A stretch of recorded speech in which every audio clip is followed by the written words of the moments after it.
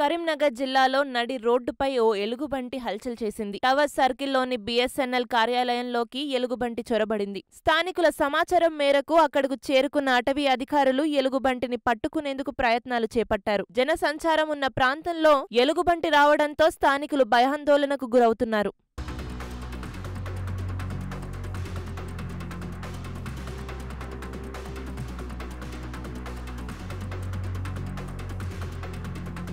Thank you.